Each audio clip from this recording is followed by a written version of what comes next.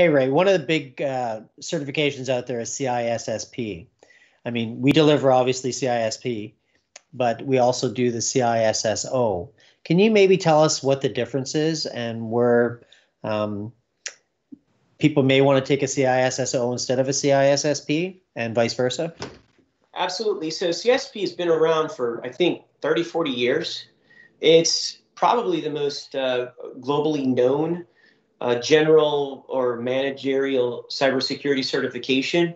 And we respect that. Uh, I, think very highly of ISC squared and the CISSP program, but we felt like we wanted to create something that was unique and distinct from CISSP, especially since it's in Canada. Uh, the ISSO course was a uh, requirement and priority, especially within the DND, and we wanted to take that ISSO role-based uh, curriculum and allow it to evolve into a certification program.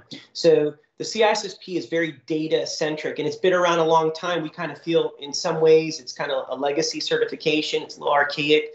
Uh, we like to focus on the certified ISSO more as a emerging and role-based certification program. And so we implement the major eight domains. We break them up to more palatable uh, subjects. I think it's 18 or 19, depending on what uh, the 2020 one curriculum, uh, you know, what, what, what it's going to disclose. There's some, some new uh, modules that we're going to implement there, but it's very relevant to our job in 2021. It's uh, refreshed every six months to, to 12 months, and it's very centric around your job. The one awesome part about the CISSO is that it does cover the exam objectives, generally speaking, of the CISSP. So you can sit for the CISSO, uh, accomplish the exam, which is does it lacks ambiguity uh, and uh, cryptic questions. So if you know the information, you can pass the exam. Where we we try to avoid uh, some of these guesswork, um, and we believe that if you know the subject matter, you should be able to pass. So the distinction is is multifaceted. Number one, it's job role based. It's focused on emerging technologies. Uh, three, the examination is more uh, direct versus ambiguous and cryptic. And ultimately, this is a, this is where the industry is going.